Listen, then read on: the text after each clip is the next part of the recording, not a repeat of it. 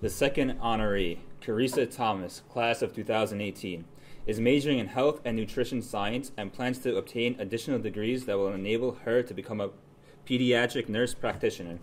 She's the founding president of Women of Color at BC. After serving in a leadership position for three years, she is now serving as a mentor to the group. Kerissa is a peer mentor for the BLMI and the Big Sister, Little Sister mentor group. Last month, she was a volunteer at the BC Grad Fair. In addition, she is a member of the Vice President for Student Affairs Advisory Committee for the BC Health Care Clinic.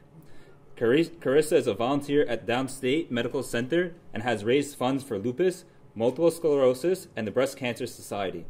Her long term range goal is to give back to her community by opening a free health clinic for those in need of medical care and establish a scholarship to provide funds for those who do not have the finances to pay for an education. Kerissa Thomas.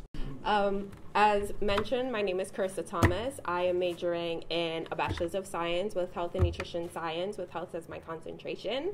And I will be graduating in two weeks, finally.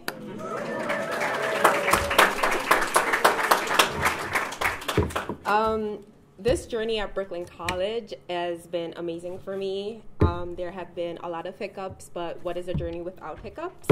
Um, so this journey is going to be bittersweet because I have grown and developed into the woman that I am today because of Brooklyn College and for the many connections that I have made. I really want to give much thanks to the Brooklyn College Alumni Association for choosing myself and all these other wonderful people that are gathered here to be recipients of this award. I would like to thank my mom for all the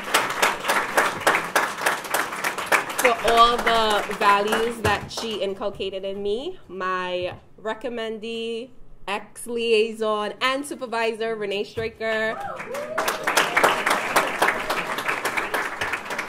Um, I would really like to be a part of this that you guys are doing. It means a lot to me, giving back and helping students like myself.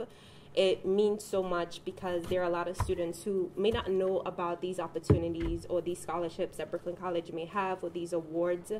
And I would definitely like to be a part and give back to the community because what is what is life without giving back to others and to help them on their journey? So thank you for helping me on my journey and for helping me to become the woman that i desire to be. Thank you